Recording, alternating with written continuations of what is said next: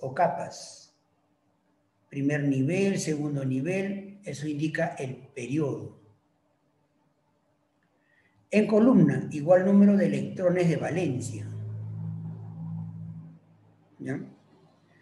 Y los que están en columnas, que pertenecen a una misma columna, se dice, presentan propiedades químicas similares. Propiedades químicas similares, por favor.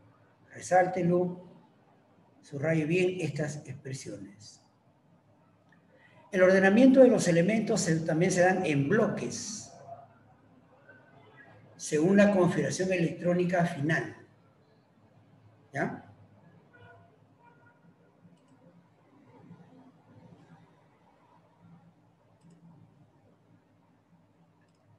Entonces,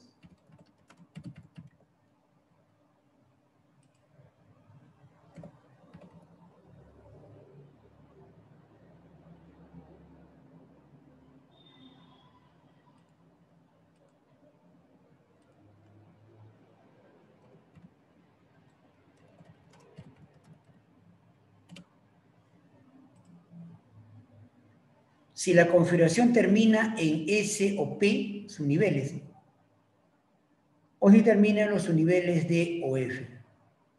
Bloque S, bloque P, bloque D, bloque F. Si termina en SP, son elementos del grupo A. Y si termina en D o F, de acuerdo a la configuración electrónica, son elementos del grupo B. Ya chicos, estoy haciendo como que un recuento de lo que ustedes tienen aquí en su libro y cómo está de manera resumida todo lo que vamos a tratar con un poco más de detalle. ¿Ya? Bueno, también vemos en la imagen al gran maestro Henry Moseley. Se ordenan de acuerdo a su número atómico, que sugiere y propone. La siguiente página vas a observar la tabla periódica ya, en blanco y negro. Interesante sería si ustedes tienen de manera simultánea una tabla periódica con unas tonalidades, unos colores que nos ayuden a diferenciarlos. ¿Ya? Aquí está de manera vertical. Están los periodos, están las columnas, los grupos, etc. Bien, entonces nuestro tema es desarrollar la tabla periódica moderna. ¿Qué herramientas necesito para poder entender mucho más el ordenamiento de los elementos? Porque ese es el objetivo principal. La herramienta importante, la herramienta, digamos, valiosa es la configuración electrónica. ¿no? Con la configuración electrónica vamos a tener muchas herramientas, muchas referencias para lo que queramos sacar adelante este capítulo.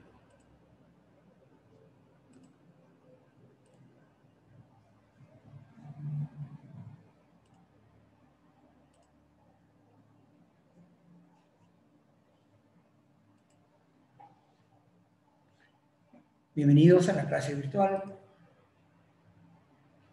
curso de química. Quien le habla, mi nombre es Ernesto Rodríguez. Y como buen alumno, buen estudiante, Colegio Tales. La tabla periódica actual. Es una disposición de los elementos químicos, dice en forma de tabla, ordenados por su número atómico. Está pasando muy rápido. Ordenados también por su configuración de electrones y ordenados también por sus propiedades químicas o propiedades en general. Dice, repito, a a ver. Están ordenados por su número atómico están ordenados por la configuración de electrones, están ordenados por propiedades.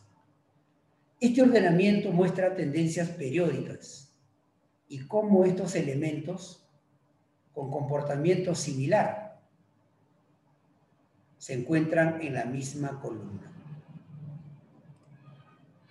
Actualmente la tabla periódica cuenta con 118 elementos, 94 de los cuales se dan de manera natural en la Tierra. Sin embargo, los hombres de ciencia han intentado sintetizar, preparar, obtener nuevos elementos artificiales, por lo que no se descarta que en la lista aumente en el futuro. Debajo tenemos, bueno, eh, una fracción de, de una de las tantas tablas periódicas. Ustedes pueden descargar por internet mostrando ciertas tonalidades por sectores, por elementos, algunos de color rojo, eh, negro, color azul, rojo, que muestran ciertas cualidades o tendencias para esos elementos químicos. Principalmente una tabla realizada por la UPAC, que nos ayuda, nos ayuda a interpretar y a entender y a conocer mejor a estos elementos químicos.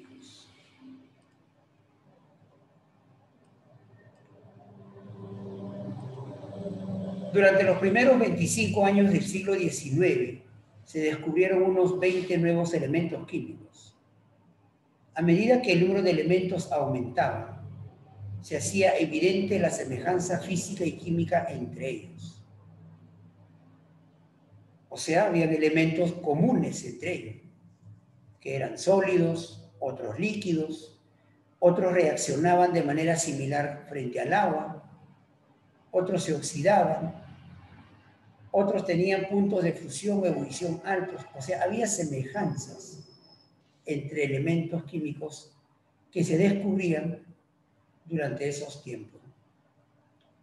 Entonces los químicos entendieron que el estudio de esas propiedades de los elementos sería más práctico, más fácil, si, si los agrupaban.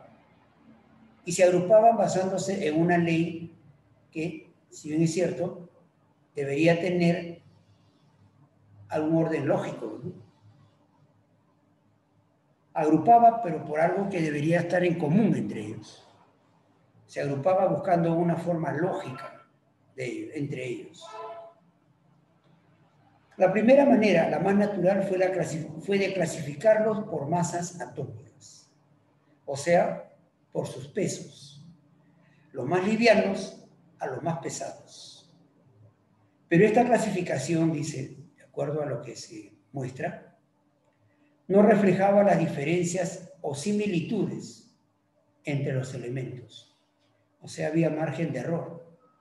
Y eso no se podía permitir a estos hombres de ciencia. Y entre ellos buscaban afinar, corregir esos pequeños errores. Muchos intentos, dice, de clasificación fueron adoptados antes de llegar a la tabla periódica que se utiliza en nuestros días. A la derecha vemos a un personaje muy interesante, muy importante para la química, sobre todo en la tabla periódica. Un personaje que aportó mucho a la clasificación periódica actual. Este personaje propone, como ya están registrados en los libros de química, la primera tabla periódica y fue la base para conocer nuestra tabla periódica actual base a sus estudios, llegó a plantear y a proponer diversos elementos químicos y ordenados por filas y por columnas. Me refiero a Dmitry Mendeleev, un químico de origen ruso. Es el inventor de la tabla periódica de la parte actual, de una parte de la tabla actual. Su descubrimiento no surgió de la noche a la mañana, sino que fue el resultado de un proceso de varios siglos. Los elementos podían ordenarse en función de sus propiedades, pero faltaba algo, desentrañar el patrón periódico. Algo faltaba.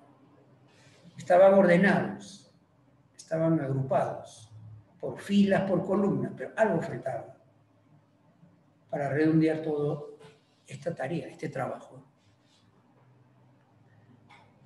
¿Ya?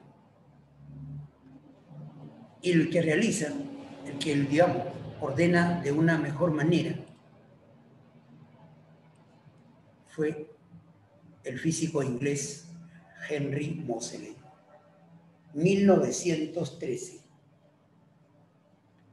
Henry Moseley propuso la ley periódica que guía la clasificación moderna. Entiéndame chicos, la clasificación periódica actual, nuestra tabla periódica actual, se fundamenta en la ley periódica.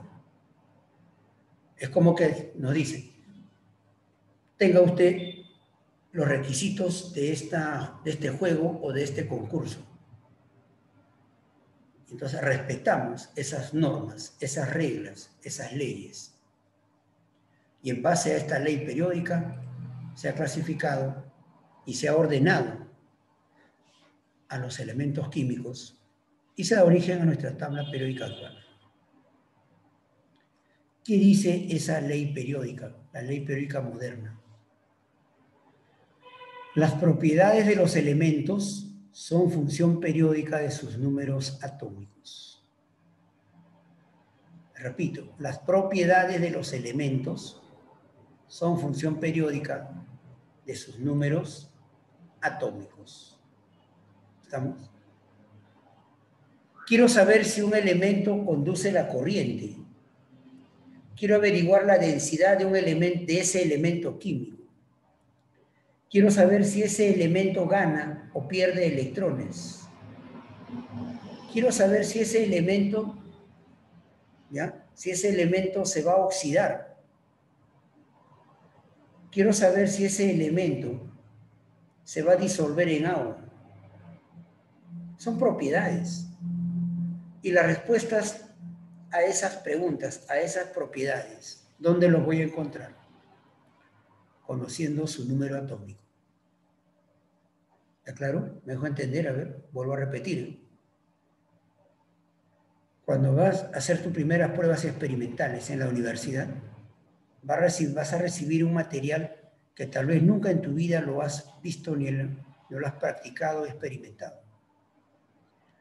Y el encargado del laboratorio te va a decir, determíname su densidad, determíname si conduce o no la corriente. Este material se va a oxidar o se va a reducir. Deme un informe si se disuelve o no en agua. Y con la ayuda de los instrumentos que vas a disponer, vas a recurrir directamente a su número atómico, tal como lo hizo Moseley. Y con él dirás si es conductor o no, si se disuelve en agua o no, si gana o pierde electrones, todo lo que quieras conocer con el número atómico. Eso nos enseñó Henry Moseley. Entonces, muchachos, para redondear esta información, dice bien claro, las propiedades de los elementos, las cualidades de ese elemento se encuentran o se determinan o están en función a su número atómico. Henry Moseley. Y esa ley es lo que se utiliza para ordenar los elementos químicos la ley periódica, la ley de Moseley. Bueno, a grosso modo, te puedo explicar mediante este pequeño gráfico. Cátodo, ánodo. Del cátodo se lanza una cantidad de electrones. los rayos catódicos vienen a ser los electrones. Esta fuente se somete, por ejemplo, a unos 10.000, 15.000 voltios y salen de esta fuente, de esta plaquita azul, cátodo, salen cantidad de electrones y van a impactar a la placa roja, que bueno, en este caso se dice el ánodo, una placa de cierto elemento. Puede ser el cobre, puede ser el oro, puede ser el plomo, el estaño, etc. Al impactar en la superficie de esa placa, sale energía. Imagínate que usted lanza un objeto contundente sobre una ventana de vidrio. El vidrio se hace esquirlas, se fragmenta por mil pedazos, diferentes tamaños, pero también sale energía. Esa energía no lo vemos. Lo que vemos son las esquinas. Igualito aquí. Impactan los electrones y lo que sale es energía. Esa energía son los rayos X, establecidos, elaborados por Moseley. Y luego encuentra entonces la relación de esa frecuencia con el número atómico de ese elemento que está aquí de color medio marrón, la placa de dicho elemento. Y puede funcionar así, miren, escúchenme. Si esta placa es de cobre, saldrán, por ejemplo, una frecuencia de 10 rayos. Si esta placa es, por ejemplo, aluminio, saldrán una frecuencia de 3. Si esta placa es oro, saldrá una frecuencia de 15. Y luego va a relacionar la frecuencia de los rayos X con su número atómico. A y B son constantes que se determinan en una ecuación. O sea, todo esto simplemente, no es que vamos a resolver A, Z, A, B, no. Simplemente la información es que Moseley hizo esta experiencia. Lanzó rayos catódicos sobre una placa metálica. Al impactar emitieron rayos X. Evaluó la frecuencia del rayo X con el material que estaba utilizando. Y así encuentra un modelo matemático y llega a plantear su ley. En 1913, el joven físico inglés Henry Moseley descubrió una relación entre lo que él definió como número atómico y la frecuencia de los rayos X, que se generaban al bombardear un elemento químico con electrones de alta energía. La experiencia, el experimento de Moseley. Dato complementario para lo que para nosotros más importante resalta en la ley que él propone.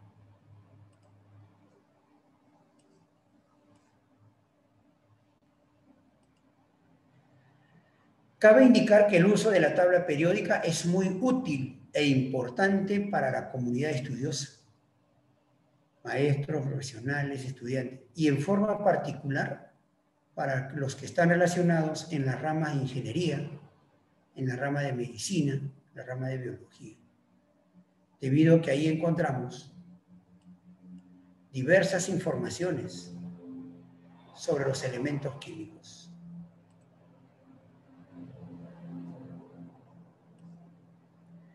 La tabla periódica de los elementos es uno de los más importantes iconos de la ciencia. Un solo documento que captura la esencia de la química en una forma elegante. En realidad, no existe nada igual en biología o en física o cualquier otra rama de la ciencia para este tema. Uno ve tablas periódicas en todos lados en laboratorios industriales, en talleres, en laboratorios académicos y, por cierto, en los pasillos de nuestras universidades. ¿De acuerdo? Quiero compartir este mensaje o este comentario que para mí resultó muy interesante y quería compartirlo con ustedes. La tabla periódica de los elementos es uno de los más importantes iconos de la ciencia. Un solo documento que captura la esencia de la química en forma elegante. Esto, ¿quién nos, quién nos enseña? El doctor Eric Sherry, un destacado profesor de la Universidad de California en Los Ángeles. Esto da como hace, a ver, hace aproximadamente cuatro años atrás se celebró los 100 años de la primera tabla periódica planteada por Mendeleev. Y salieron muchísimas informaciones, resaltando la gran importancia de la tabla para, la, para el estudio de la ciencia, la tabla periódica. Y uno de ellos lo mostramos en el, doctor Eric Cherry, plantea esta información y que realmente es muy interesante, ¿no? Esta lectura. Bien. Descripción de la tabla periódica. Los elementos químicos, que son 118 reconocidos de manera oficial por la IUPAC, se ordenan en forma creciente al número atómico. Esto ya de la ley periódica, ¿no?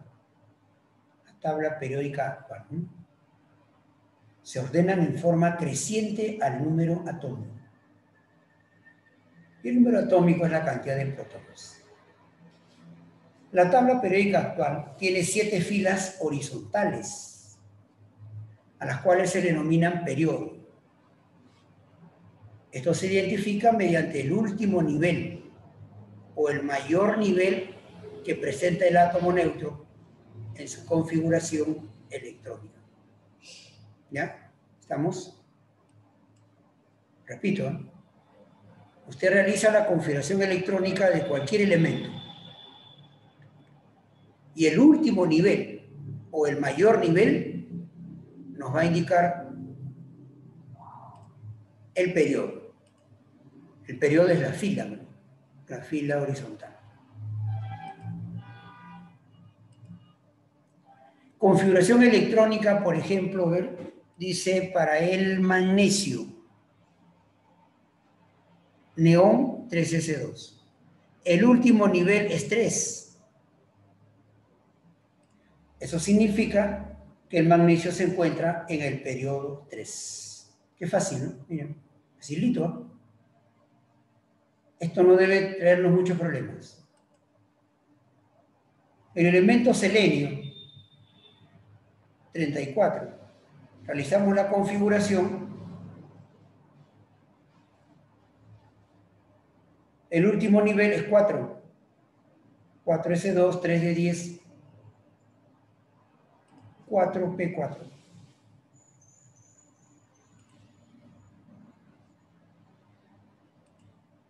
El último nivel es 4. Luego se dice que el selenio se encuentra en el periodo 4. Ajá. A ver, otro ejemplo más. Tecnesio 43. Siempre para el átomo neutro. Acá no va a participar cationes ni aniones, solo neutros. Tecnesio 43. El último nivel es 5. El último nivel es 5. Luego se dice que el tecnesio se encuentra en el periodo 5. ¿Ya? Está fácil, ¿no?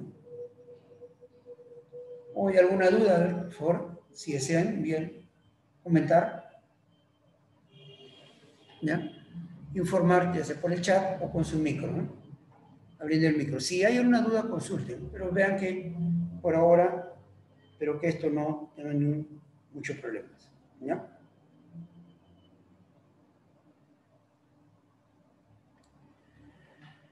Bien, seguimos en la descripción de la tabla periódica. Dice, la tabla periódica actual tiene 18 columnas, las cuales agrupan a elementos con propiedades químicas similares. A ver.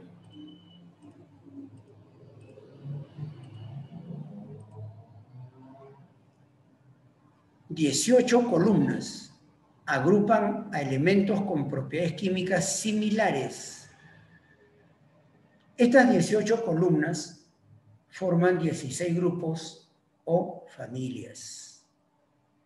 Fíjate, 18 columnas, 16 grupos o familias. Ocho elementos, perdón, ocho grupos A, denominados elementos representativos, y ocho grupos B, denominados elementos de transición. ¿Estamos?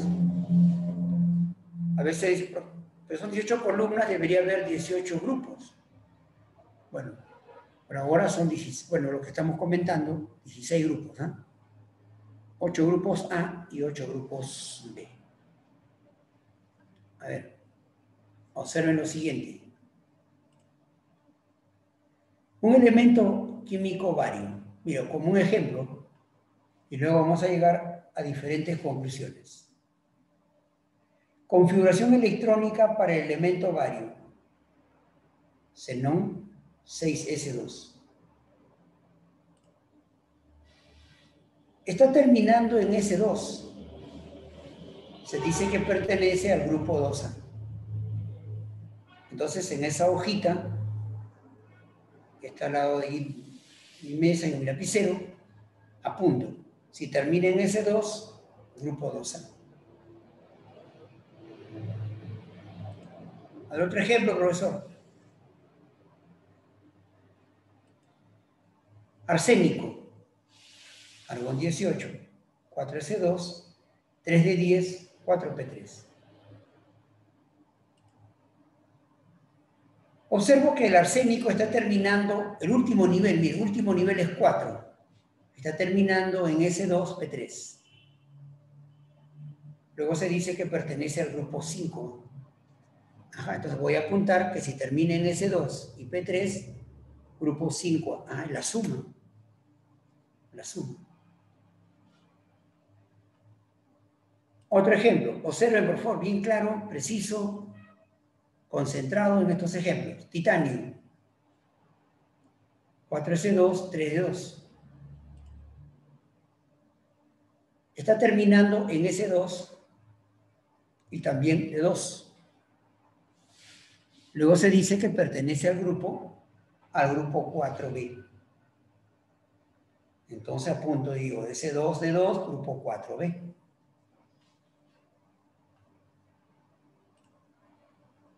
Un, elemento más, rutenio.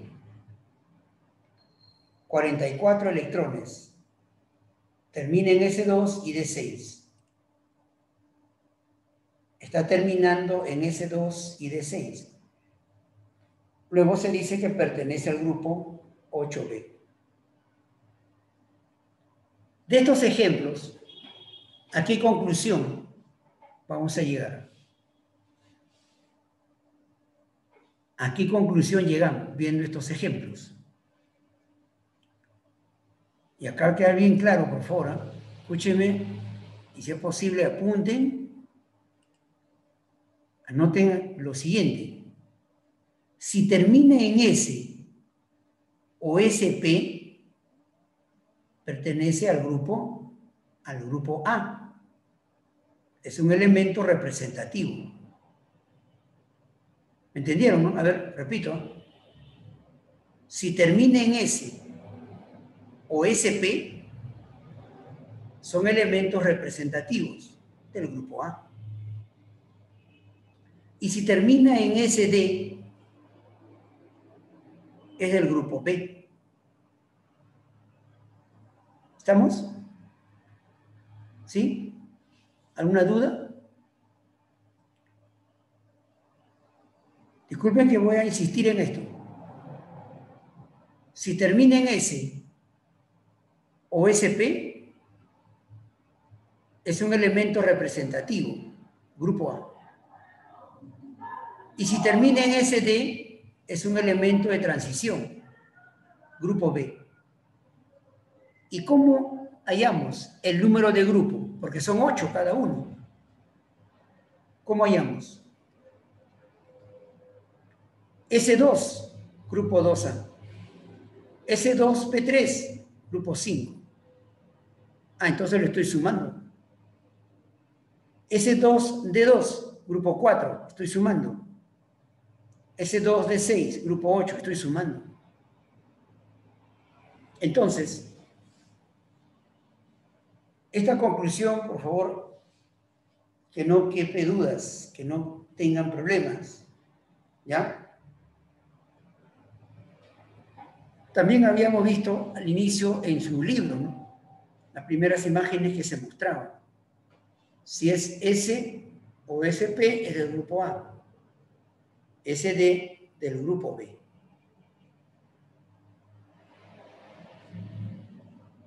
¿Estamos? ¿Alguna consulta, Stefano? Michelle? Valerie, ¿están apagados sus cámara. ¿Cómo sé yo que ahí están? ¿Me están escuchando? ¿Me están entendiendo?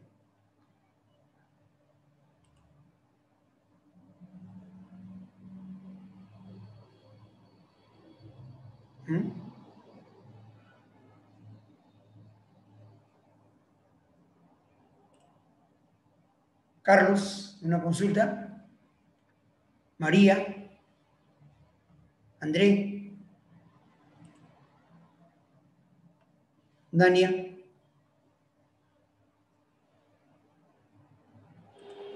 Si termina en S o SP, grupo A. Si termina en SD,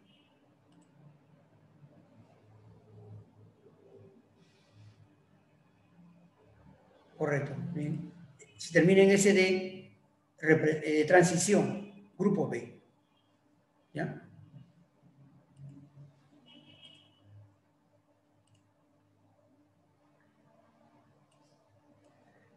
En esta imagen podemos tener lo siguiente.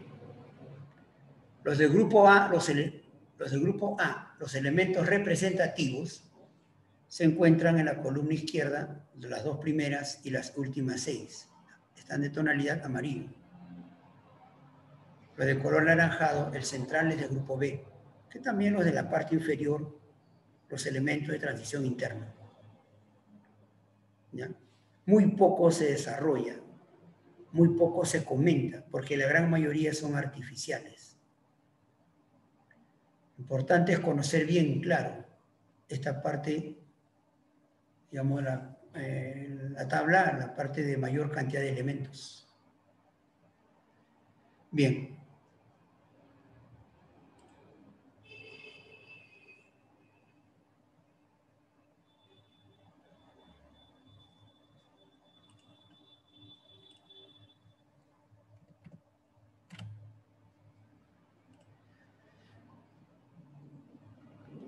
Observen por favor, grupo 1, grupo 2, las dos primeras columnas.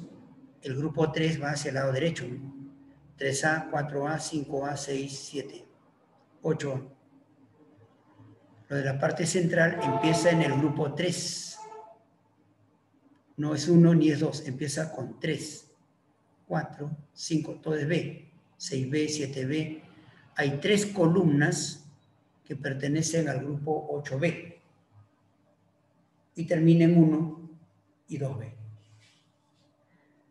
¿Ya? Esto es la notación tradicional en A y en B.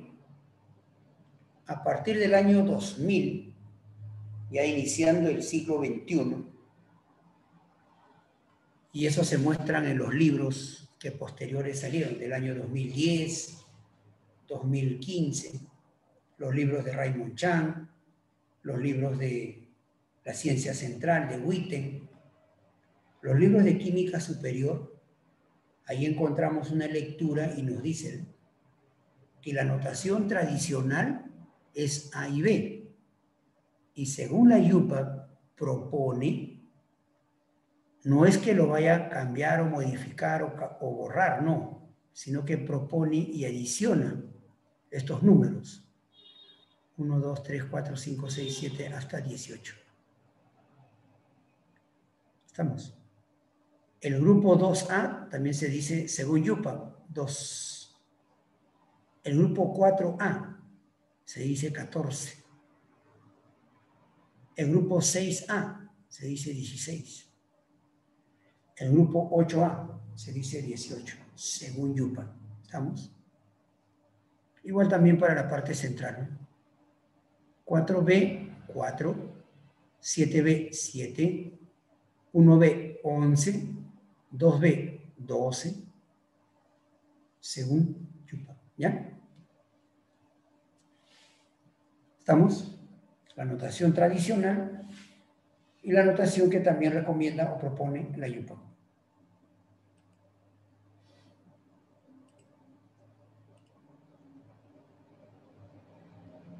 Los elementos representativos, los elementos del grupo A. Ahí tenemos. Columna grupo, según la YUPA, su denominación y los electrones de valencia. Los electrones de valencia son los del último nivel. Miren cómo funciona aquí. Atentos. Escuchen. Si termina en S1, es del grupo 1A. Se denomina alcalinos, la primera columna. Si termina en S2, grupo 2A, alcalinos térreos, la segunda columna. Pues ya no puede ser S3 ni S4, nada. Termina el S, ahora pasa al P. Si termina en S2 y P1, ¿ya?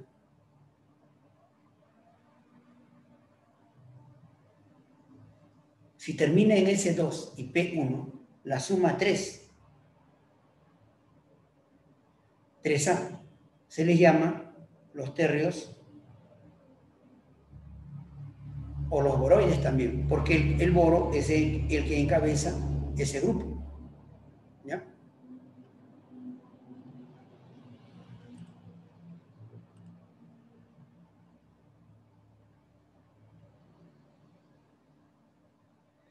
Del grupo, perdón, si termina en S2 y P3, por ejemplo, la suma 5, grupo 5A, la familia del nitrógeno, nitrogenoides. Si termina en S2, P5, grupo 7, la suma, 7A, halógenos. ¿Ya? Y si termina en S2 y P6, ¿qué será?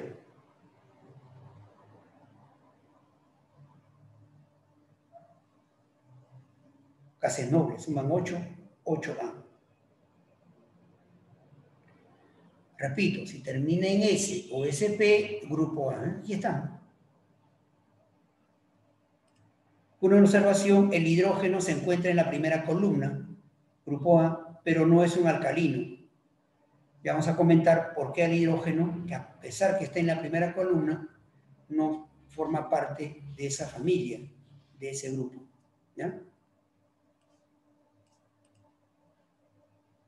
Los elementos de transición. Los del grupo B.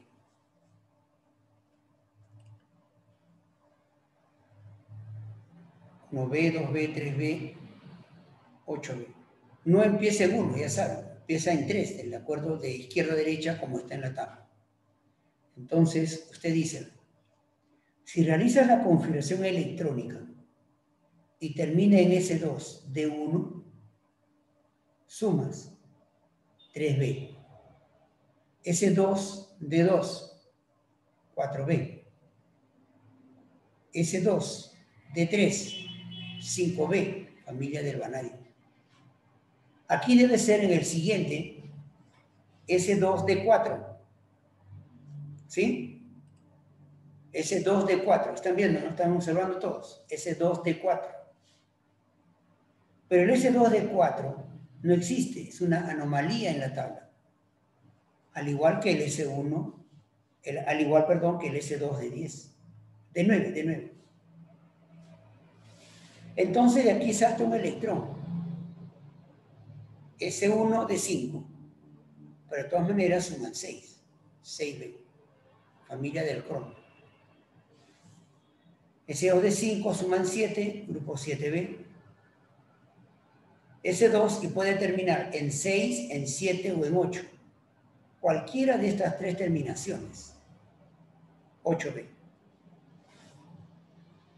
Y aquí está, por favor, chicos, entiéndame esto, ¿ya?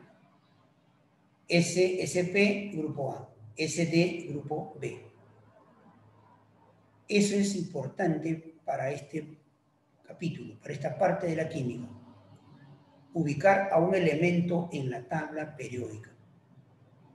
Realizan la configuración, el último nivel es el periodo, la fila. ¿Estamos? Y si observas en qué está terminando, ya tienes estas opciones. ¿Está claro? ¿Alguna duda? ¿Alguna duda hasta aquí? Profesor. Sí, le escucho, dígame. El hidrógeno, ¿a qué familia pertenece en realidad? No tiene familia. Eso fue uno de los grandes problemas que tuvo desde Mendeleev. A Mendeleev lo criticaron porque lo puso en la primera columna, grupo 1. Pero después, cuando ya se van corrigiendo, adicionando, variando, modificando, entonces le dijeron que la tabla de tenía errores. Claro, uno cuando lo hace no va a encontrar pues 100% correcto todo. Entonces, de ahí se nota y se indica y aparecen publicados que el hidrógeno no tiene una familia así adecuada, como los alcalinos, como los halógenos, no, no está. Se ubica en la primera columna, pero no es un alcalino. ¿Estamos? ¿Ya? ¿Entendieron? Si no hay alguna otra observación, o qué es lo que también pudieron haber ustedes encontrado en otros textos, ¿no? ¿Ya? Así es. ¿Alguna otra consulta? A ver.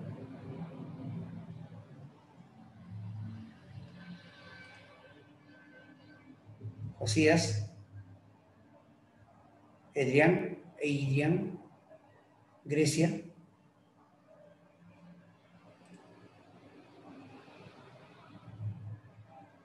Ariana, ¿alguna duda?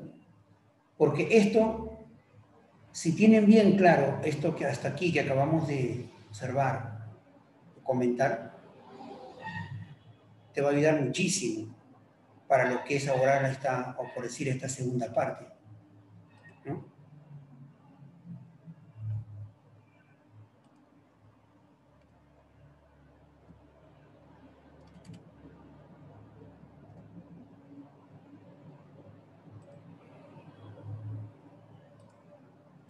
¿Cuál es, profesor, la otra parte? Lo que les decía, ¿no? Les comentaba al inicio, con la ley periódica. Me van a dar un elemento desconocido. Quiero saber si conduce la corriente. Lo ubico en la tabla periódica con estas herramientas y tendré mi respuesta ya. Me van a preguntar si ese elemento forma un enlace, por decir, iónico. Tengo que ubicarlo en la tabla. Con estas herramientas tendré mi respuesta. Por saber si ese elemento es un gas, un líquido o un sólido. Tengo estas herramientas, lo ubico en la tabla y tengo mi respuesta. Así es, chicos, así funcionan todas estas expresiones. ¿eh?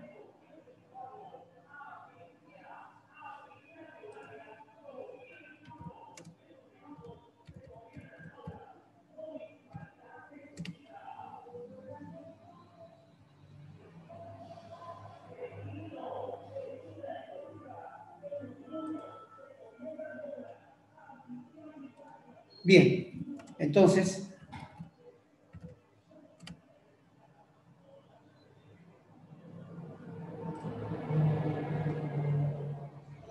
ya, esto entonces, chicos, importante, ¿eh? Hasta aquí, conocemos bien, estamos dando un buen paso, tenemos buena base para lo que viene más adelante. Los enlaces químicos, por ejemplo, es crucial todo esto, es importantísimo todo esto. También eh, más adelante, balance redox. Es importante todo esto. Formar los compuestos. Me estoy olvidando, muchísimos esto. Un óxido, un ácido, un hidróxido, tiene mucho que ver con esto. Ya, muy bien, entonces, si no hay algunas otras dudas, a ver, por favor, por el chat, me comunican aquí con el micro para poder pasar siguientes puntos y que esto, digamos, no, no vamos a tener problemas a posteriori.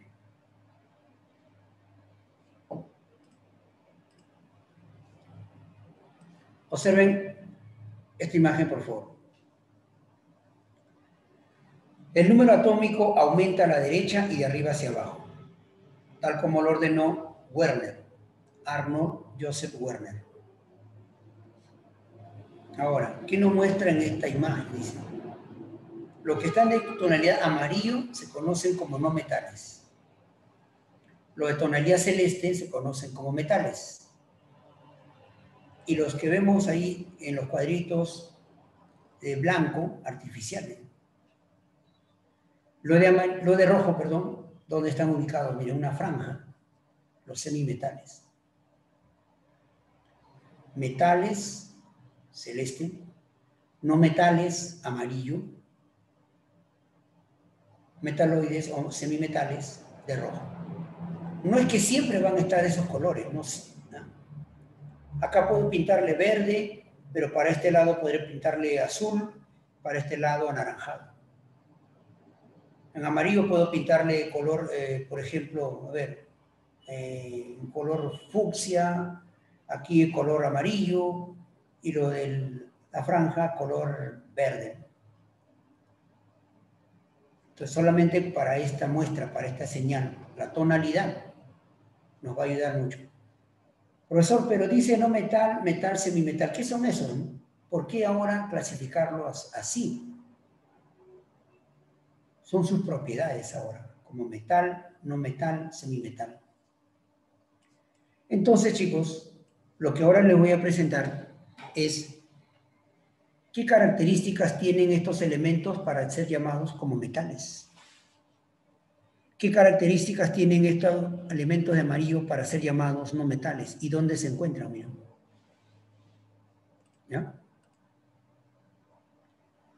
Características principales de los elementos químicos. Metales. Los metales.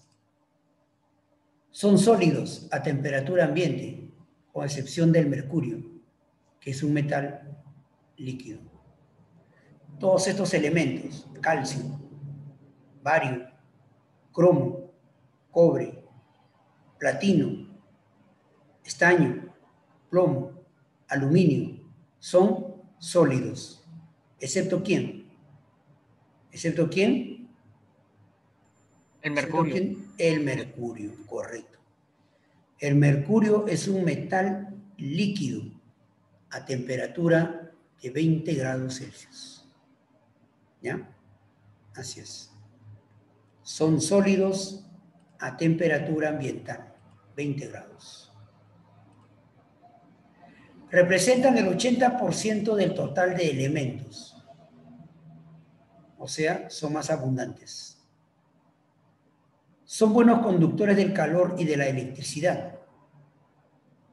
El orden de la conductividad eléctrica en la planta cobre y oro. Fíjate muchachos. Estos elementos químicos, ¿ya?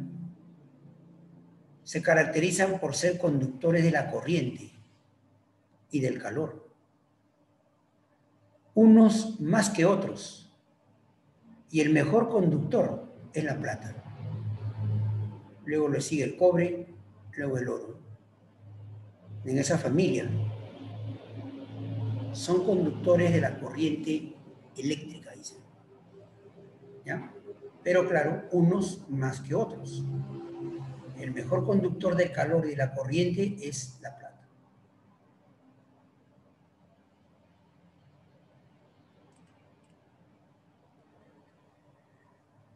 Dice luego, son dúctiles y maleables dúctil, que podemos formar hilos, alambres, maleables, que podemos formar láminas, planchas. Poseen altos puntos de fusión, quiere decir cambiar de sólido a líquido, o sea, derretir el hierro, debo alcanzar esta temperatura de 1536 grados. Derretir un objeto de cobre, debo alcanzar esta temperatura, 1083 grados son temperaturas bastante altas. Presentan altos puntos de fusión. O sea, derretir a estos metales requiere una temperatura bastante alta. Son más densos, son más pesados que los no metales. Los metales se oxidan. ¿Qué quiere decir que se van a oxidar? pierden electrones. Y si se oxida, pierden electrones, se llaman reductores, agentes reductores. Son los elementos metálicos, muchachos. ¿Ya? Claro, sí, con él, ¿ven? Y tenemos láminas, alambres, como tubos de cobre, todo lo que se puede moldear o hacer para este material metálico. La plata, principalmente en joyerías. El hierro en la industria metal mecánica, alambres, varillas, clavos, tubos, materiales de diversas características, el hierro. El hierro es el más usado en la industria metal mecánica para construir la casa, alambres, varillas, el acero, aliarlo con carbono y formar acero. El hierro muy importante. El oro. Bueno, aquí una de sus aplicaciones como joya. Si tienes vocación por estudiar ingeniería metalúrgica o minas, vas a conocer en vivo y en directo a estos metales. Vas a experimentar todas esas propiedades. Vas a practicar con diferentes instrumentos, cómo laminar, cómo moldear, cómo preparar una aleación. La única espera, ahí lo vas a hacer si tienes vocación por la metalurgia, por la minería. Conocerás todos estos metales. Hay un museo, el Museo de Geología, ahí están todos los metales, los no metálicos sólidos también. Ya, abierto al público en general para que visite. Pero como estudiante de la uni, cualquier momento vas, visitas, muestras tu carnet suficiente. Muy interesante, muchachos, el estudio de los materiales metálicos. ¿Ya? Y en la tabla periódica, ¿dónde lo encontramos?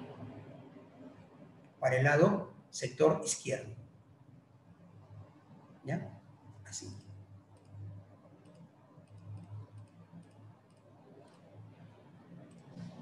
Bien, avanzamos ahora con los no metales. ¿Qué cualidades tienen los no metales que estaban a la derecha? Los no metales pueden ser sólidos, líquidos o gases. Sólidos como el carbono, como el azufre, como el fósforo. Líquidos como el bromo. Y gases como el oxígeno, nitrógeno, helio, neón, argón, etc son malos conductores del calor y de la corriente, excepto uno de ellos, el grafito.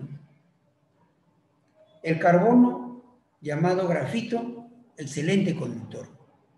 El azufre no conduce la corriente. El fósforo tampoco. Los gases como el oxígeno, nitrógeno, son aislantes. ¿Eh? Es una propiedad opuesta a los metales son opacos a la luz, o sea, no brillan. Sus puntos de fusión son más bajos que los metales. Se reducen, ganan electrones. Si los metales pierden, los no metales lo ganan. ¿Ya? Cualidades para los no metales. El carboncillo, el lápiz, para hacer sus dibujos. ¿Alguna vez habrás observado a este, este, arte, este talento que tienen las personas de dibujar rostros en vivo y en directo cuando están frente a él y utilizan el carboncillo y lápiz? Sacan el rostro. También ustedes también tienen tal vez estos lápices y esos carboncillos es grafito. Grafito. ¿Ya? El azufre tiene una tonalidad amarillo, cristalino, verde amarillento como el limón. El helio se venden o se distribuyen en balones, tipo el balón del gas doméstico. Como le puedo hacer un comentario, el heliox. El heliox es una mezcla de helio y oxígeno. Eso utilizan las personas que van a hacer estudios al fondo del mar o al fondo de un lago. Llevan esos balones de oxígeno, pero no solamente hay oxígeno, hay helio. Es el heliox, que los mantiene una hora, media hora dentro, soportando terribles presiones en el fondo del mar y su respiración no será tan igual que digamos cuando están en superficie, pero los mantiene de una manera adecuada para hacer su trabajo. Si llevan un balón de oxígeno, puro oxígeno, no será tan eficiente como hay helio con oxígeno. Ya son estudios hechos, ¿ya? Estudios realizados. Por eso preparan esa mezcla el famoso heliox, helio con oxígeno. Y el helio también lo emplean para hacer avisos luminosos, una pollería, un tragamoneda, que se ven a cuadras de distancia. Esos avisos luminosos lo hacen con helio, con argón, con criptón, con gases nobles. Aplicaciones. A ver, vamos a avanzar aquí para conocer un poco sobre los semimetales o los metaloides. Para ciertas, dice, poseen ciertas propiedades físicas intermedias, ciertas propiedades físicas intermedias entre metales y no metales, especialmente la conductividad eléctrica. Observen y escuchen lo que dice aquí. A temperatura ambiente, la conductividad es baja, pero conforme aumenta la temperatura, su conductividad eléctrica aumenta, por lo que les emplea en la fabricación de pequeños dispositivos usados en la electrónica. ¿Ya? Dice que a temperatura ambiente su conductividad es mínima, pero si lo sometemos a mayor temperatura, su conductividad aumenta. ¿Ya? Y debido a esa cualidad especial que estos presentan, se les va a usar en estos pequeños dispositivos empleados en electrónica. ¿Quiénes son ellos? Los transistores, los diodos, los chips. Estos semimetales solamente son ocho. Boro, silicio, germanio, arsénico, antimonio, teluro. El más común de ellos es el silicio. Más importante, el silicio. Para hacer los paneles solares. Germanio, arsénico, en ese orden.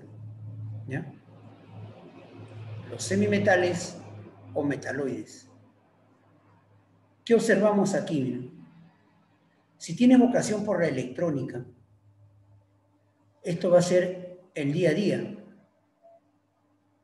de ustedes. Identificar qué son, profesor, esas plaquitas, esas placas, color negro, tienen unas pequeñas patitas de color blanco. Esto está elaborado con los metaloides, silicio, galio, arsénico, arseniuro de galio se llaman. Y estas laminitas son de silicio. Están interconectados unos tras otros. Esto es la tarjeta madre de una computadora, de un celular, de una laptop. Aquí están mucha información, se almacena. Tarjetas de audio, video, todo en estas pequeñas placas. Son los microprocesadores, como la velocidad con que actúa o que activa activa o se actúa en una computadora. Esta es la razón de ser, la tarjeta madre de, una, de un artículo electrónico. ¿Ya? Si tienes vocación por la electrónica, esto te espera. Y es muy, muy interesante, muchachos. Los diodos. Esos diodos se usan para poder unir, conectar a estos dispositivos llamados chips. Los transistores, de igual forma. Y estos están fabricados con estos materiales semimetálicos. Silicio, arsénico, galio. ¿Ya? Ahí está. Ese es entonces, muchachos. ¿De acuerdo? Bien, aquí estamos. Nuevamente, para hacer como resumen de lo que hemos comentado, los metales se encuentran en todo este sector. Los no metales a la derecha. Y en esa franja que están con asteriscos son los metaloides. El hidrógeno. El hidrógeno no me, se encuentra en la primera columna. Es un elemento no metálico. Este hidrógeno debe estar por este lado de la derecha. Por ahora estudiamos tal como aparece. ¿no? Así es. La clasificación por bloques para terminar, eh, muchachos, en esto de, de cómo todas estas herramientas es para ubicar al elemento en la tabla. Esto es según el último subnivel, donde termina la configuración electrónica del átomo neutro siempre neutro. ¿Ya? El átomo neutro. Realizo la configuración electrónica. Si termina en el subnivel S, bloque S. Si termina en el subnivel P, ¿dónde está? El bloque P. Si termina en el subnivel D, bloque D. Y bueno, por secuencia simplemente los del bloque F en la parte inferior. A ver qué pasó con el antimonio. 51. Su configuración electrónica termina en 5P3. Se observa que la configuración electrónica del antimonio termina en su nivel P. Luego se dice que pertenece al bloque P. Por aquí estará ubicado el antimonio. Otro ejemplo, profesor. Vanadio 23. Su configuración electrónica termina en 3D. El vanadio termina en el subnivel D. Se dice que pertenece al bloque D, en la parte central de la tabla. O sea, es un elemento de transición. Otro más, a ver, el calcio. Configuración electrónica del calcio, 4S2 se observa que la configuración electrónica del calcio termina en el subnivel S. Luego se dice que pertenece al bloque S, elemento de transición, primera columna. Bien, lo que quiero entonces presentar, y como que un resumen, la clasificación por bloques, la clasificación por propiedades, la clasificación según el número atómico. Si usted junta esos tres términos, esas tres expresiones, vas a tener muchas herramientas para ubicar a un elemento en la tabla y luego dar muchas respuestas al cual te van a preguntar. ¿Ya?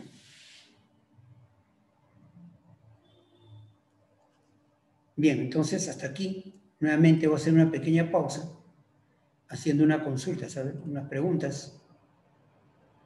Huarcaya, Adrián, Michelle, Osías, Grecia, Ariana, ¿alguna consulta? Yasumi, ¿alguna duda? metales, no metales, metaloides. Eso es según la clasificación de las propiedades conductiva eléctrica. Por bloques, de acuerdo al último subnivel. ¿Sí? Catherine, Luis Ángel, ¿todo bien? Bien, chicos. Entonces, si es así, entonces esto es importante, tenerlo bien claro, nos va a ayudar mucho en los capítulos siguientes. ¿Ya?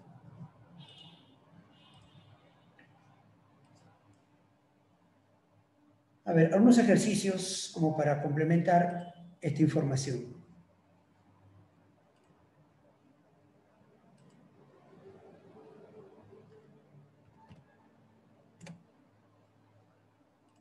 Dice, respecto a la tabla periódica moderna, a ver, ¿quién me indica cuál sería la respuesta? ¿Qué marcaría ahí? Los elementos están ordenados en función de su masa atómica. Según Moseley, las propiedades de los elementos dependen del número atómico. Los elementos están organizados en grupos y en periodos.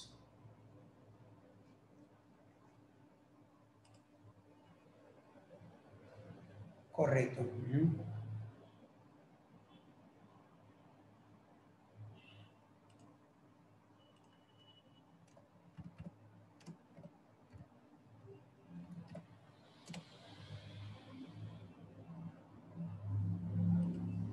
Listo, a ver.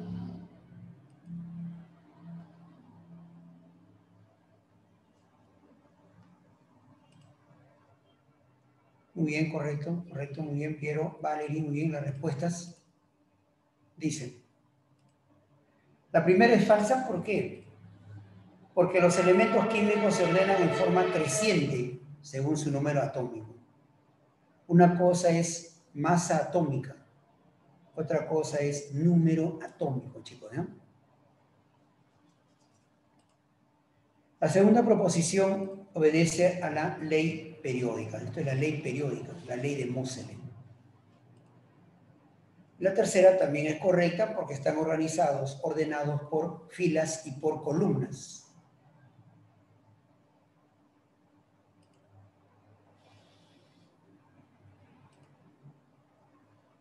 ¿Ya?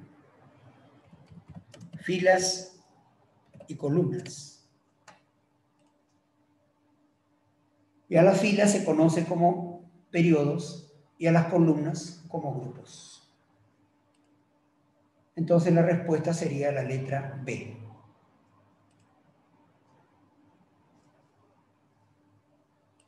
Una cuestión teórica así, sencilla, práctico. ¿no? A ver, vamos con el otro ejemplo. Están las siguientes proposiciones. ¿Cuáles son correctas? Los elementos de transición pertenecen al bloque D. Los elementos representativos pertenecen al grupo A. El periodo indica el número de electrones. A ver, ¿qué respuesta marcaríamos ahí? ¿Cuáles son correctas?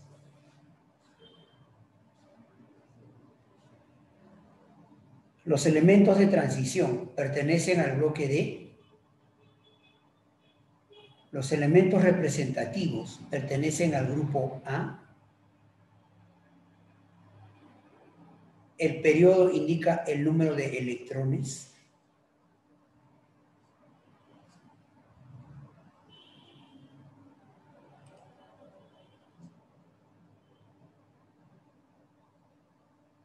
A ver.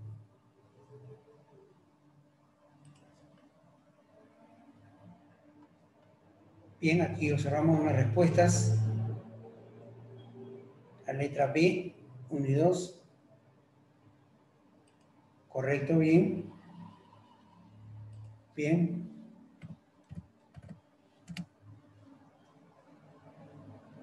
Correcto, muy bien. Listo, muy bien. Entonces, Listo, chicos. Muy bien, muy bien. Respuestas que han enviado, ¿eh? Correcto, ¿eh? Así es.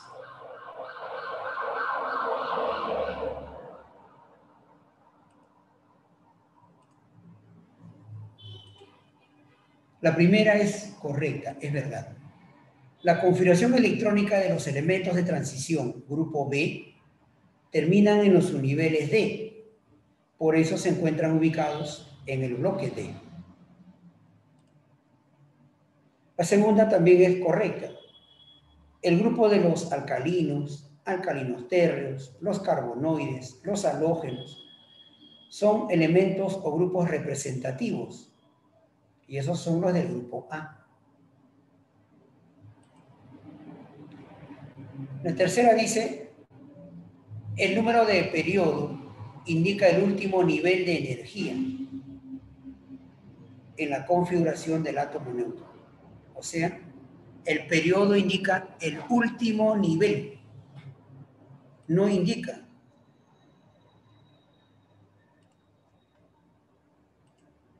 No indica, chicos, la cantidad de electrones, cuidado. El periodo indica el número de electrones falso. Uno y dos, la respuesta. ¿Ya? Bien.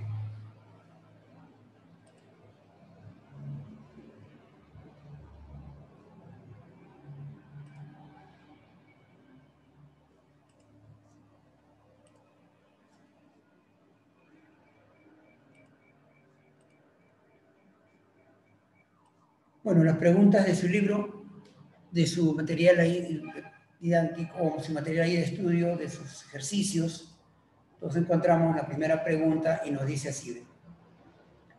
Respecto a la tabla periódica moderna, los elementos están organizados en función de su peso atómico creciente.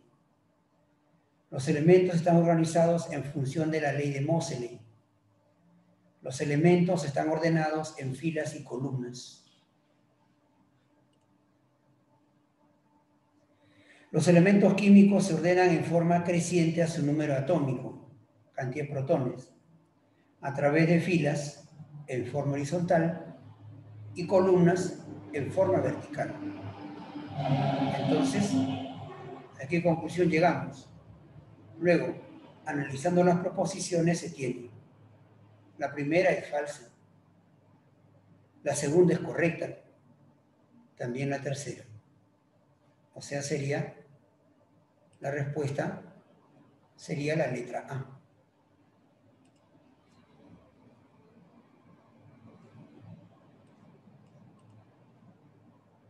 Respecto a los elementos metálicos, dice. Recuerda dónde estaban los metales, al lado izquierdo de la tabla. Los metales son buenos conductores de la electricidad y del calor. Los metales alcalinos tienden a perder electrones formando iones con carga más 2. El silicio es un semimetal que presenta una conductividad similar a la del cobre.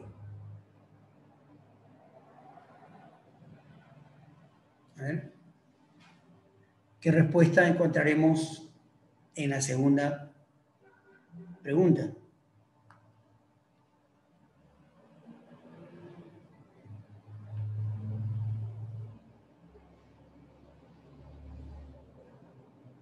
Qué respuesta.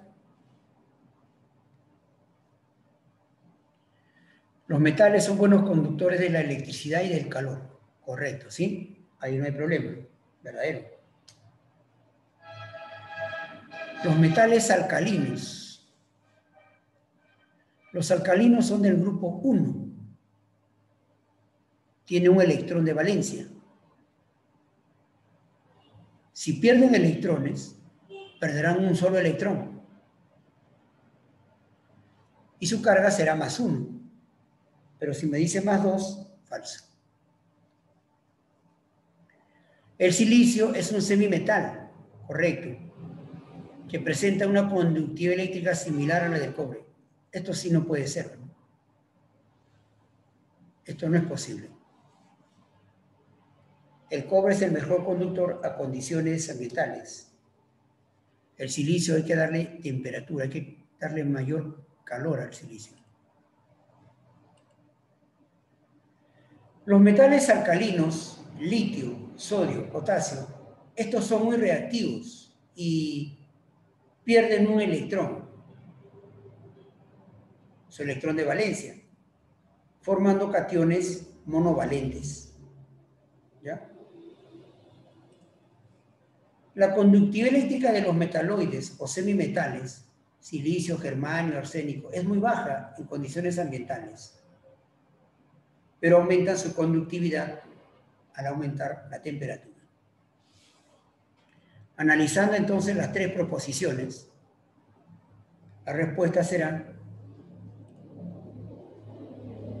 B, F, F. La letra D. ¿Estamos? ¿Sí? ¿Alguna duda? ¿Alguna consulta hasta aquí? ¿Cuál no está claro? ¿Cuál no es, digamos, alguna expresión que tal vez pueda tener una duda? Vamos comentando respecto a ello, ¿sí? Está bien, ¿correcto? Avanzamos.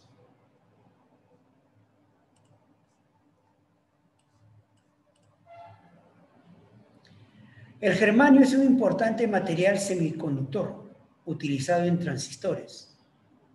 Es un sólido duro, cristalino, de color blanco grisáceo, lustroso y quebradizo.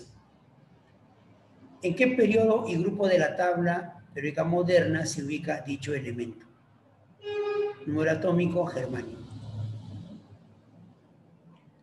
Bien, entonces hay que ubicar en la tabla. Y tenemos la herramienta importante que es la configuración electrónica.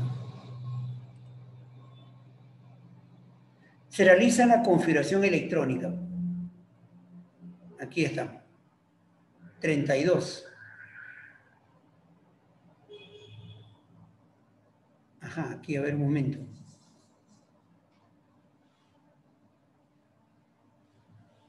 Aquí debe decir 4P2. A ver, un segundito, por favor. Un segundito. Un minutito. ¿Ya?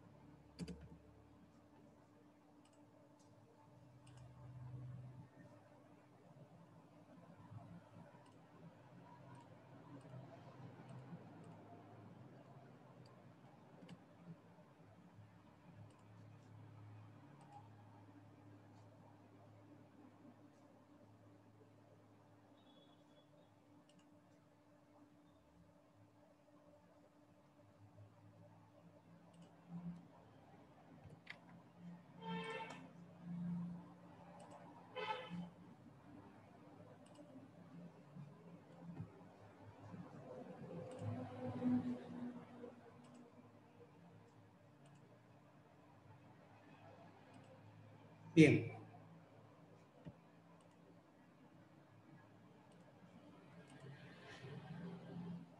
El germanio, 32 electrones, configuramos. Aquí está. Germanio 1S2, 2S2, termina en 4S2, 3 de 10 y 4P2. ¿Sí?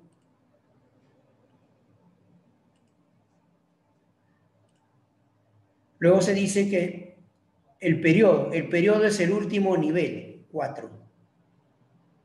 Y el grupo será 4A, la suma. SP es del grupo A.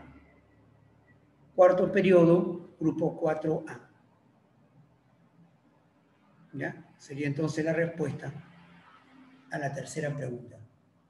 Ubicar a un elemento en la tabla periódica, como para el elemento germanio. Determine el periodo y grupo del átomo de un elemento, dice el problema 4, que posee 15 electrones en orbitales cuya energía relativa es 5.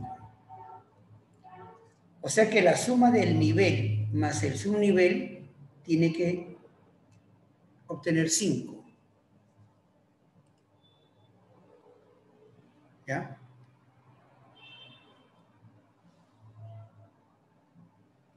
La suma del nivel más el subnivel tiene que dar 5. Si decimos, por ejemplo, 3S, ahí la energía es 3. No será parte del problema. Si decimos 4P, 4P, la energía es 5. Ah, entonces sí sería parte de la solución. Identificamos a los orbitales de los subniveles que tienen energía relativa 5. ¿Y eso quién será? El 3D. El 3D y el 4P. Chicos, por favor, observenme aquí un momento, bien claro aquí toda esta, esta expresión. ¿eh? Ya. El 3D y el 4P, su energía relativa, suman 5. Y acá tiene que haber 15 electrones. 10 en el D y 5 en el P. El D entonces repartimos, ahí están los 10 electrones. El P5, 1, 2, 3, 4, 5. Son entonces 15 electrones en orbitales cuya energía relativa es 5. ¿Estamos? ¿Sí? ¿Está bien hasta ahí?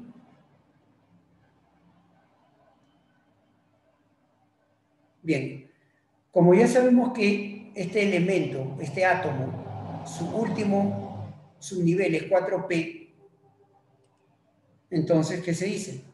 Su configuración electrónica será desde el 1S hasta el 4P.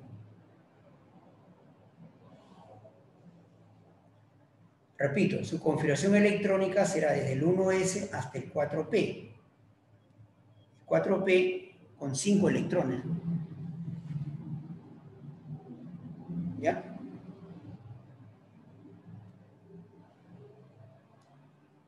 Bien, entonces,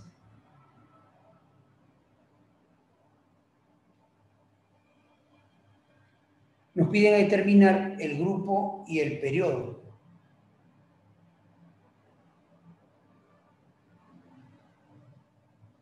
Grupo y periodo. ¿Cómo se determina el grupo y el periodo?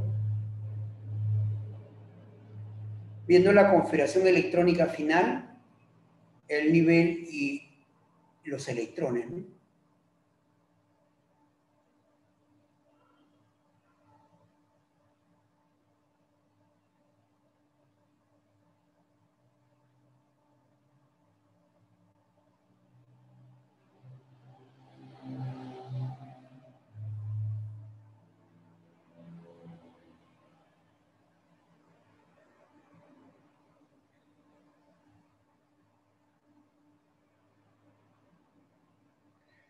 Disculpe un momentito porque acá se quiere ir la señal, pero bueno, ya está solucionándose estos percances.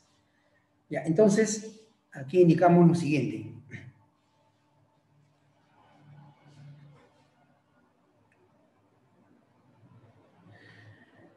Quince electrones en los orbitales con energía relativa 5. Termina en 4P5. Luego se dice, periodo 4, ¿eh? último nivel 4. Grupo 7A. Sumamos simplemente del S y del P, porque ellos son los del último nivel. Está terminando en S y en P. Suman 7, grupo 7.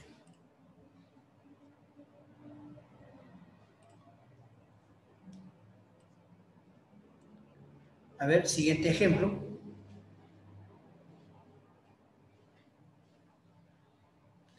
El conjunto de números cuánticos del último electrón del átomo R es 4, 1, menos 1, menos 1 medio.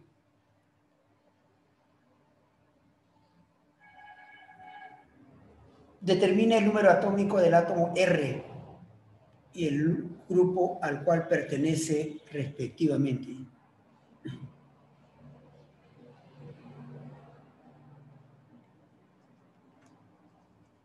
A ver cómo indicamos la respuesta.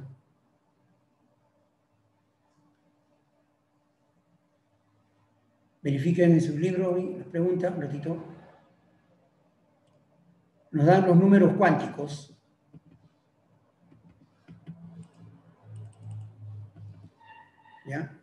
Nos muestran los números cuánticos.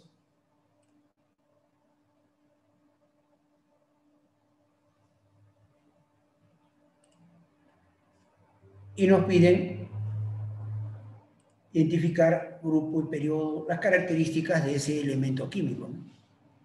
Y también ubicarlo en la tabla periódica.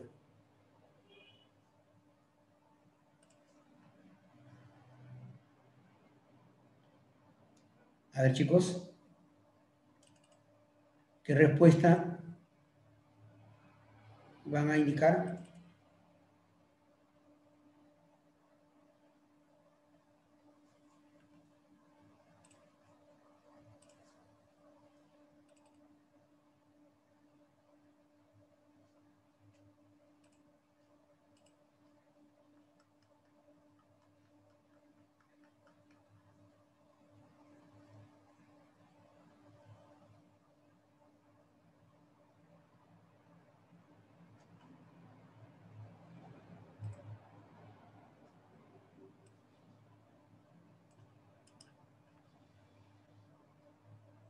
¿Listo? A ver.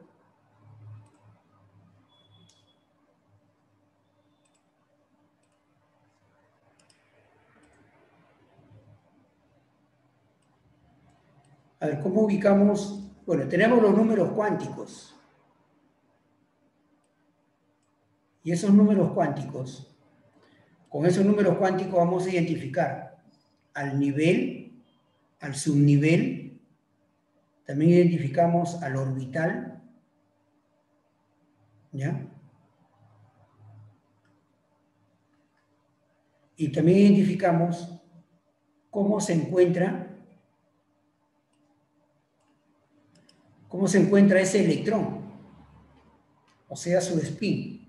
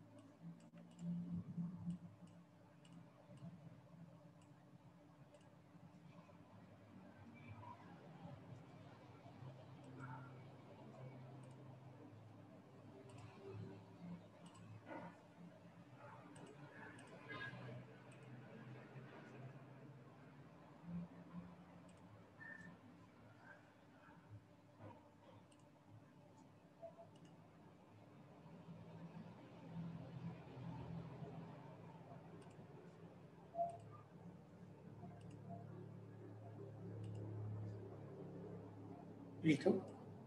¿Ya cuál es la respuesta? A ver quién me ha indicado. ¿Me ha resuelto? Dice.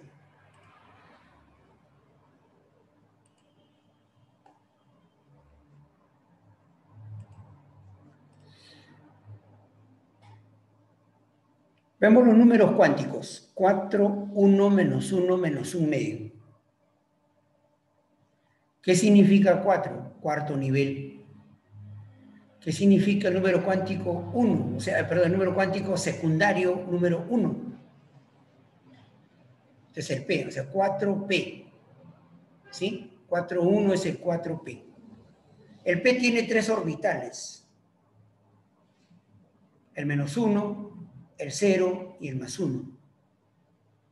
De esos tres orbitales, el electrón estará en el menos 1, en el primer orbital y si su número cuántico de spin es el menos un medio, estará indicándose como que fuese una flechita apuntando hacia abajo. Este es el último electrón entonces. ¿Ya? 4, 1 menos 1 menos 1 medio es este electrón que se está señalando en él. Por lo tanto, nos indica que hay 4p en el subnivel 4 electrones. ¿Ya? La configuración electrónica empieza en 1S2, 2S2, 2P6, 3S2 y termina en 4P4. ¿Por qué? Porque dice bien claro, el último electrón, dice. No hay más, es el último electrón. Hasta 4P4, 34 electrones, 34 protones. ¿Estamos? Luego se dice que el periodo es 4. ¿Por qué el periodo es 4? Es 4 porque el último nivel es 4. Grupo 6A, porque la suma del S y del P suman 6. 6A. Y 16. ¿Cómo es que salió 16? En algunos casos, no siempre, se le suma S2 de 10, P4, suman 16. Pero no quisiera que se orienten así porque después pueden decir que siempre va a ser, no siempre. Este caso ha coincidido. Entonces, profesor, ¿cómo voy a saber que el 6A es 16?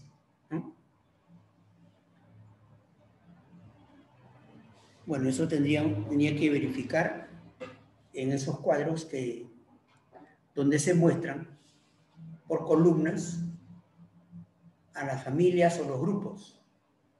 El grupo 2A, por ejemplo, es la segunda columna, y así recordamos. El grupo 3A es la columna 13, y así. Bien, entonces la respuesta sería 34 y 16. ¿Ya? Bien.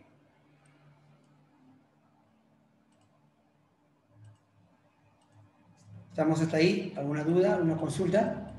A ver.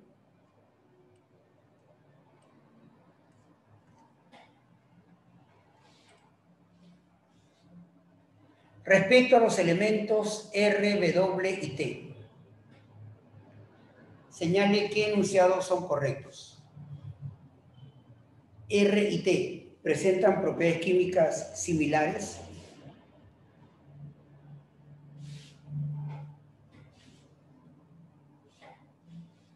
R y W poseen cuatro niveles de energía. W es sólido a temperatura ambiental y tiene la capacidad de perder dos electrones para tener la configuración electrónica de un gas noble. ¿Eh? ¿Qué respuesta encontramos aquí? La pregunta número 6.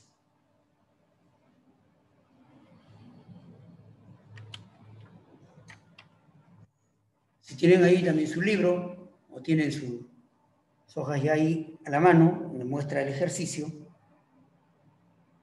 A ver, 30 segundos. ¿Cuál sería la respuesta?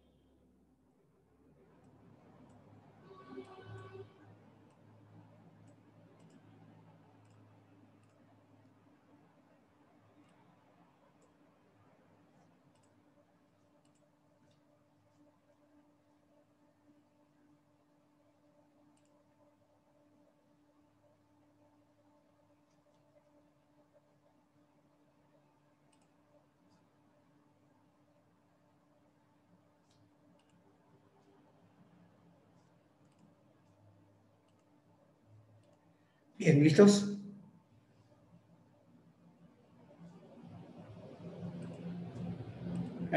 Dice entonces lo siguiente.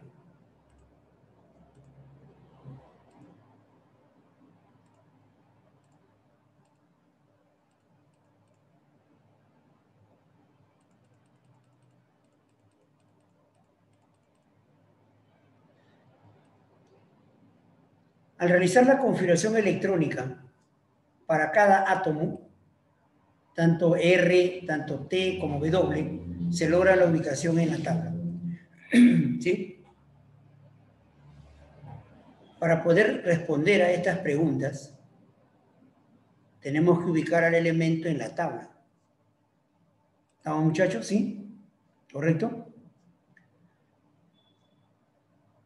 ¿Y cómo ubicamos? Bueno, ya sabemos que los números atómicos de R35, W20, T9, ¿no?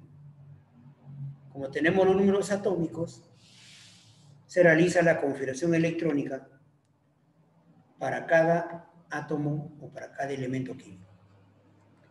Se logra la ubicación en la tabla y se obtiene. A ver. Esto que está a la izquierda, 2, 3, 4, esto va a indicar el periodo columna 2A y más a la derecha la columna 7A. Cuando ubicamos al elemento R con 35 número atómico, se va a encontrar en el cuarto periodo grupo 7A. Cuando ubicamos al elemento químico realizando la configuración electrónica para el átomo BW, 20, estará en el cuarto periodo y el grupo 2A. Para el elemento T con número atómico 9, realizamos la configuración y ubicamos al elemento en la tabla. Segundo periodo, grupo 7A. Entonces, este pequeño cuadro nos está indicando al grupo y al periodo para estos elementos en mención. Entonces ya con él me va a ayudar a poder responder a esas preguntas. A ver, R y T presentan propiedades químicas similares. Sí es cierto, porque están en la misma columna. ¿Sí, chicos? ¿De acuerdo? Sí. Entonces sería, ¿verdad? R y W poseen cuatro niveles de energía. R y W cuatro niveles, periodo 4. Cuatro niveles, periodo 4. También es correcto entonces. ¿Ya? Dice, W es sólido a temperatura ambiental. Claro, porque es un metal, ¿no? En el grupo 2A es un metal. Tiene la capacidad de perder dos electrones. Si este átomo W está en el grupo 2A, es porque tiene dos electrones en el último nivel. Tiene la capacidad de perder dos electrones para tener la configuración electrónica de un gas noble. Pierde dos electrones. Por ejemplo, a ver, W tiene 20, ¿sí?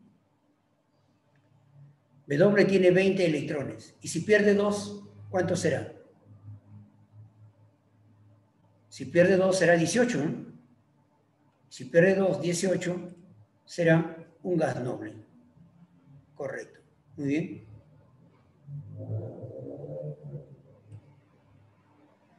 Bien, entonces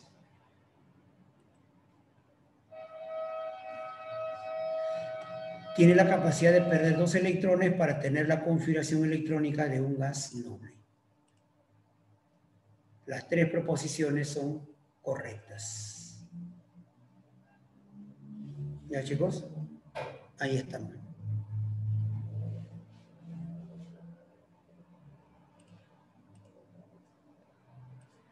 Bien, quiero compartir esta pregunta que propusieron examen de admisión.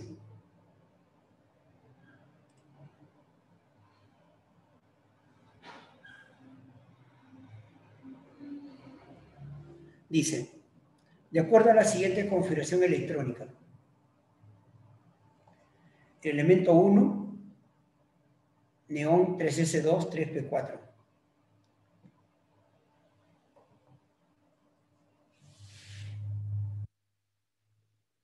El elemento 2,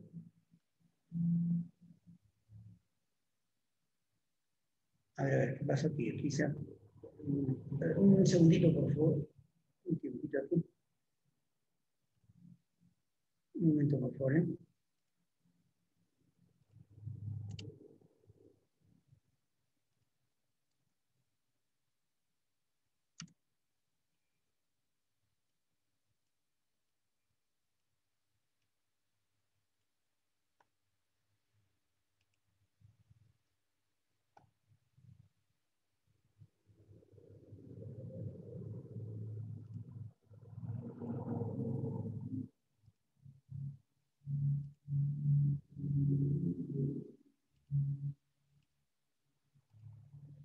Bien, dicen, de acuerdo a las siguientes configuraciones electrónicas. Esto preguntaron, examen de admisión. Elemento 1, 3S2, 3P4. Elemento 2, xenón, 6S2. Elemento 3, neón, 3S2. Elemento 4, helio, 2S2, 2P4. Nos preguntan si 1 y 4 son del mismo periodo. 1 y 4 del mismo periodo. Nos preguntan si 2 y 4 son del mismo periodo. 2 y 4 del mismo periodo. Nos preguntan si 2 y 4 son del mismo grupo. 2 y 4 son del mismo grupo. Nos preguntan si 1 y 3 son del mismo grupo. 1 y 3 del mismo grupo. Nos preguntan si 1 y 4 son del mismo grupo. 1 y 4. Miren, 1 y 4.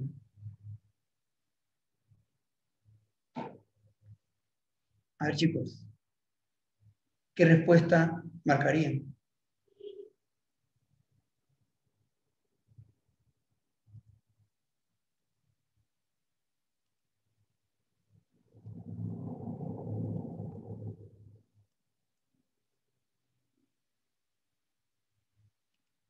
A ver, ¿qué respuesta?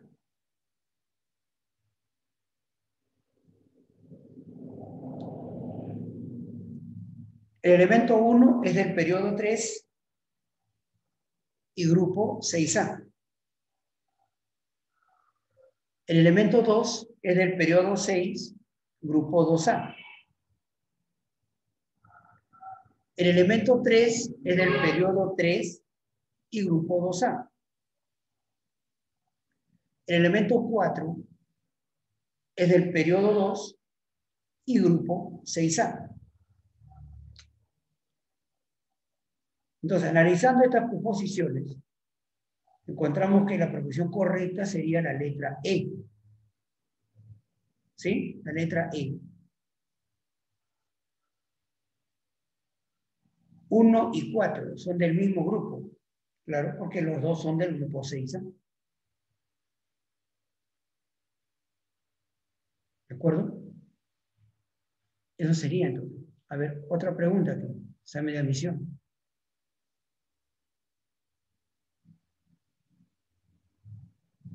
Un átomo neutro tiene Z50.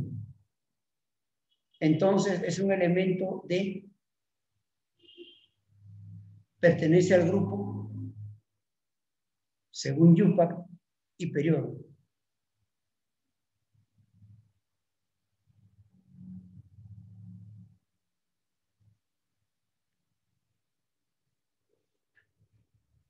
A ver, chicos. ¿Qué respuesta marcaría en él?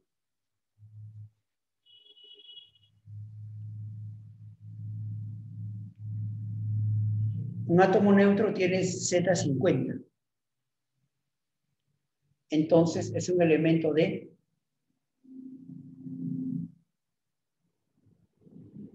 pertenece al grupo según Yupac. A ver.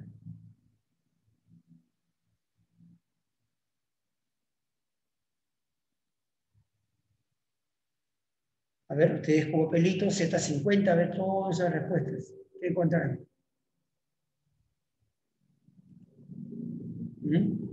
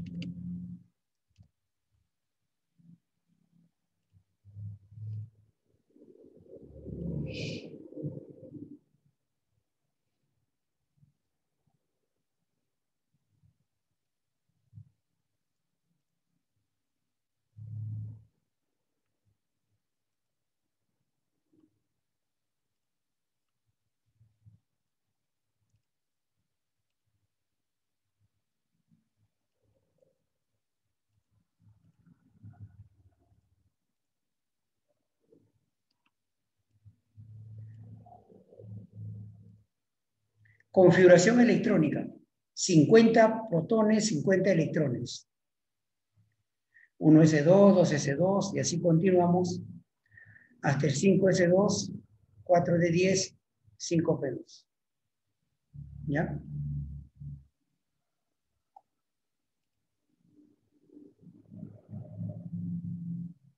Bien. Es un elemento de... ¿De transición? De transición, correcto, muy bien. ¿Más? Eh, ¿Sería la A?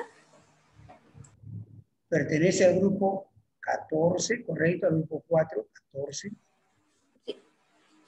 ¿Y periodo cuarto? Y periodo 4. No, periodo 5 sería. ¿Sí? Periodo 5 porque el último nivel es 5. ¿Estamos? ¿Sí?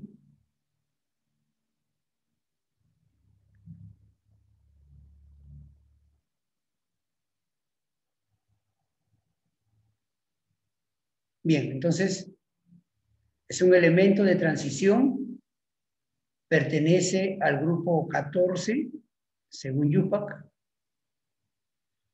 y el periodo 5, periodo quinto.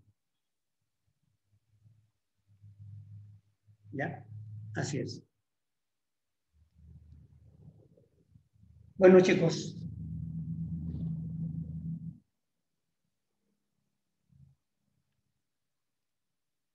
Ha sido un gusto, bueno, sinceramente, compartir con ustedes esta clase. Si Dios quiera, ya en la siguiente clase también estamos, así, ya con otros temas. Duda siempre hacerlo llegar para ayudarnos en todo este aspecto y no tener, para que no tengan dificultad en los capítulos siguientes. Mi agradecimiento sinceramente a ustedes. Y bueno, desearles pues, que este día estén todo lo mejor, con su familia, sobre todo la salud, cuidándose de ustedes. Verdad que esta situación es terrible, pero de tenemos que sacar cosas también, algo positivo, que es compartir en casa siempre con la familia y estudiar, ¿ya? Cuídense chicos, si hay alguna duda, para ir terminando nuestra clase de hoy. Si no una consulta, hay una duda, me voy despidiendo, nuevamente agradeciendo su presencia y su participación. Siempre nos motivamos en todos los cursos que ustedes tienen.